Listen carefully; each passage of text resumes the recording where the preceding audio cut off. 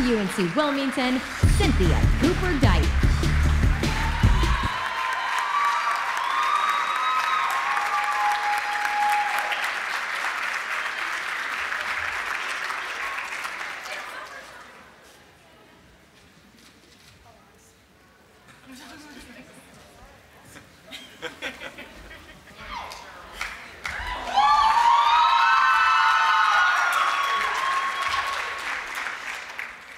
Um, I just, I, I want to say thank you.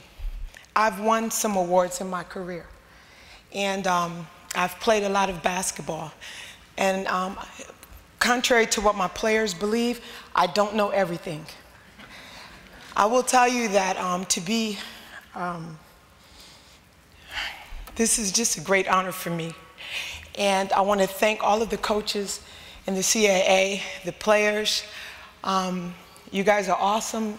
For me to be voted by my colleagues as Coach of the Year uh, for our conference is amazing for me. Um, my players, you guys deal with me every day. Every day. Thank you. Thank you for buying into our system, to believing in us as coaches, um, my staff. Oh my goodness, you guys work tirelessly all day, all night. Yep, I work them all day and all night. Um, and you guys, you believed in me, and we worked so closely together. Thank you for all that you do.